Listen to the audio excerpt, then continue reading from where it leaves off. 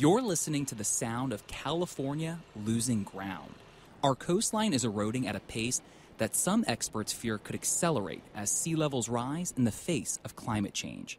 Professor Peter Ruggiero studies a pattern at Oregon State. Somewhere in, in, in the ballpark of you know 40, 40 to 50 feet um, for the low ends, upwards of well over a 100, 150 feet for the higher ends. For decades, construction crews have fought to shore up beaches and cliff sides, saving homes and in some cases entire neighborhoods with technologies ranging from cement to rocky seawalls. But now, a research team from Northwestern University believes it may have another solution, essentially gluing the sand into place by zapping it with electricity.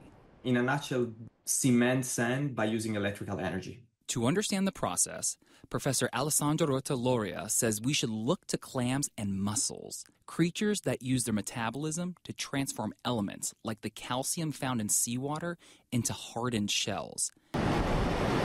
He says those same chemical building blocks exist in abundance along the coast, waiting to be transformed. So we can basically transform them into solids. We can transform them into cementing agents. So basically, we are really using the natural ingredients of seawater to cement uh, soils.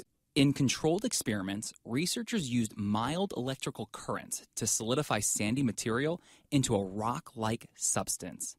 Rotta Loria believes the hardened sand could be cheaper and more efficient in holding off coastal erosion than current engineering methods. And he says the team has concepts for a mesh like delivery system that could electrify and harden even larger coastal areas. They are highly scalable because, as a matter of fact, you can engineer them with a given size and then you can just copy and paste and, and deploy it over very wide surfaces. And potentially use the technique in combination with other engineering solutions bolster some sand dunes or some sea cliffs backing some coastline, but for maybe a, a, lower cost. Many researchers believe a combination of techniques will be needed just to buy time, including perhaps shoring up the coast by literally hardening sand. In San Francisco, Drew Tuma, ABC 7 News.